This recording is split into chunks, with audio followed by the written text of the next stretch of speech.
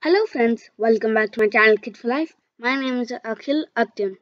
So, in the previous video, we learned some basic programming Scratch. In this video, we're going to be learning about variables. What are variables? Variables are like blocks that can store data. Data can be anything, numbers, words, basically whatever you like. So this is what we'll be creating today. The small RC card game You can see that RC car got little trail effects. And we have a speed written in kilometers per hour here. So that's basically what we're going to be doing. Right here is a variable. We'll see more of that when we start creating. Let's get back to scratch and click create. Creating project. Here we are. Get a flag. Get a forever loop. Get five, I mean six if statements. I'm gonna right click on the top and click duplicate. We got six here. Go to operators. Operators has plus, minus, multiplication, pick random, and or not round modify it has a lot of things but right now we want let's see. We want a greater than than one here and a lesser than down here. Now let's see why we need these. Let's set both of them to zero. Right here and go to variables. Right here you can see you got your variables. Right here are your variables in a little block. You got set change show and hide. Let's re-click my variable and rename this variable. We could make a new one but this is a little better. Let's name this kmph you can name it miles per hour if you want but i'm going with kilometers per hour there. Let's drag some of these blocks and place them here.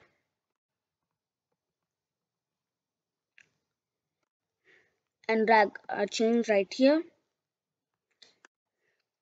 Negative 0.1 so what this does is if the kilometers per hour is greater than 0 it'll reduce the speed by negative 0.1 if it's below 0 same thing except 0.1 basically you want it to go to 0 once it's at 0 it won't do anything. Then we want to go back to our sensing bring out some key space for to be exact. You won't be using the key space exactly but it's called key space pressed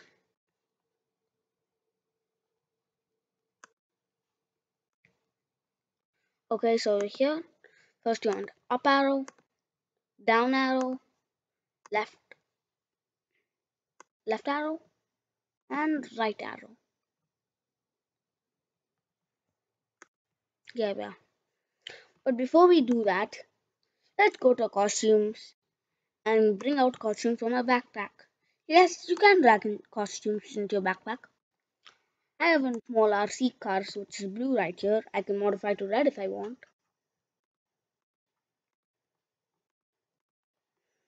Let's quickly shrink it because it's a little too big. Hmm. Doesn't look like it's very good at shrinking. Let's control Z and instead let's just shrink it here. Size 50 we could use a block but this is much easier. Then for the backdrops we want to bring in a costume RC central. I already pre-made all of these.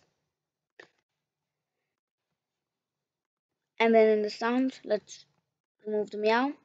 Because I have my own RC sound. It'll be on repetition but it's very tiny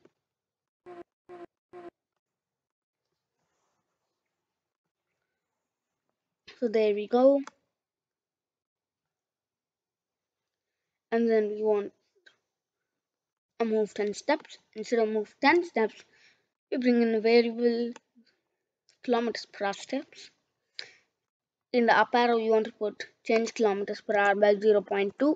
The reason we're doing 0.2 instead of 0.1 is if it's 0.1, Scratch is like, oh, it's above 0. Let's reduce it by 0.1 and it goes back to 0. So when it's 0.2, it escapes and at least has some velocity to start. Let's put a change right here. Put a some negative 0.2. Let's see what we get so far.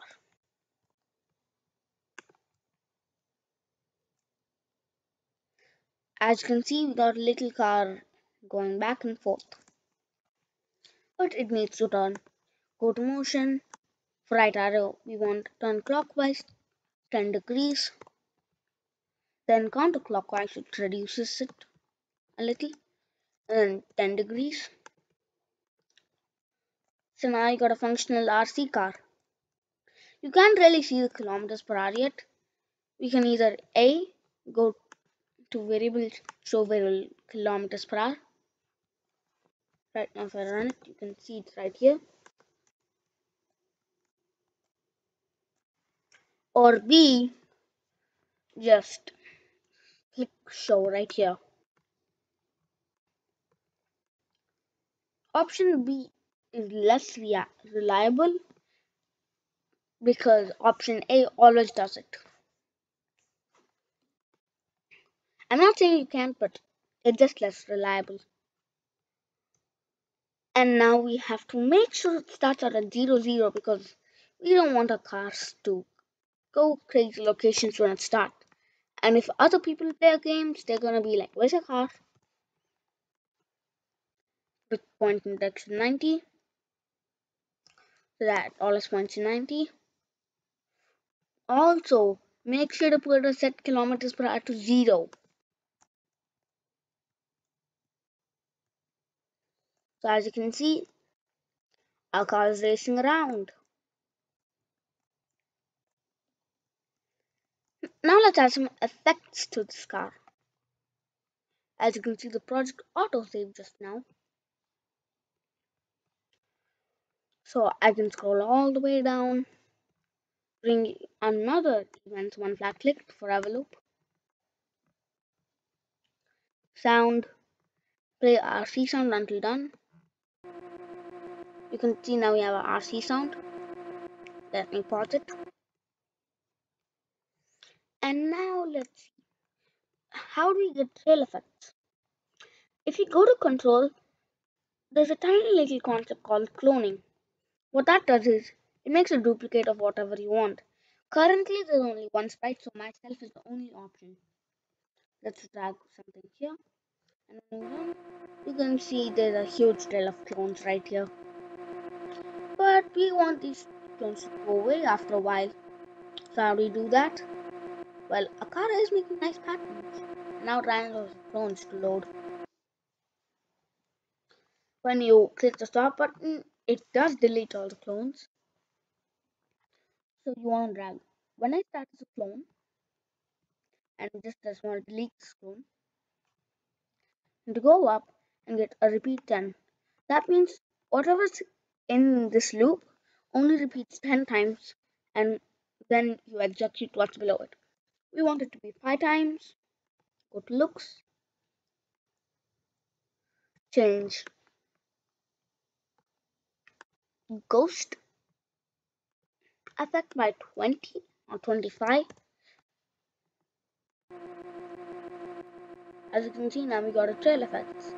It makes it look like the car's going incredibly fast. The faster you go, the longer the trail. But as you can see, sometimes the car goes into the edges. How do we avoid that? We can scroll up here, go to motion, and get all the way down on motion and drag if on edge bounce. This means if it's ever on the edge, bounce down the other way. as you can see now whenever I hit the wall it just bounce bounce bounce. Bouncy ball car. So now we have RC Central.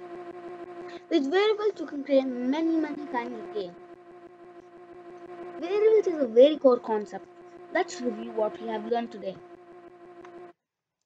so today we have learned about variables variables are objects that can store data Data in variables can be anything, from numbers to words.